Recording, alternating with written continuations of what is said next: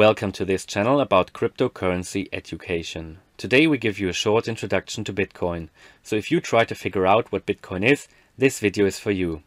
In the year 2008, a person or group called Satoshi Nakamoto published a white paper that was called Bitcoin, a peer-to-peer -peer electronic cash system. Until today, nobody knows who Satoshi Nakamoto is or what, because it could even be just a group of people. However, since that publication of the white paper, nobody has ever heard of that person or group again. Already one year later, in January 2009, the first Bitcoin was mined. That was a milestone. Bitcoin started as a curiosity that only a few people took serious at the time.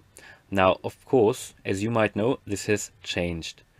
Originally, it was defined as digital currency. However, today, Bitcoin can rather be seen as a digital asset to protect money from inflation. The problem of traditional monetary systems is mainly that there is no limited amount of money. It can be multiplied as often as possible, which can lead to inflation. This is what happens at the moment around the world.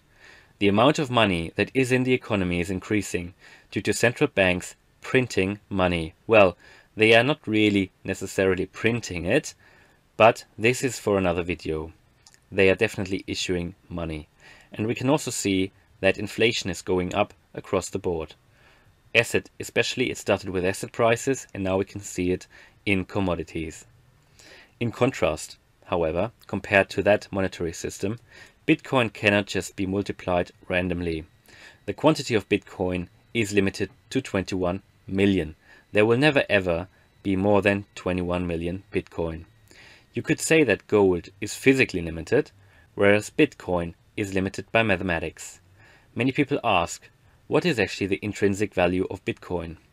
Well, it's hard to answer, but really, what is the intrinsic value of gold? What is the intrinsic value of the dollar? As you can see, it is really a question of trust. And many people believe that there is a gold has a lot of value because it really is physically limited and Bitcoin, you could say, is a digital counterpart, which is limited by mathematics. Bitcoin today has become a fantastic asset that can protect from potential inflation or hyperinflation of fiat currency. A further problem of these fiat currencies is that they are centrally organized.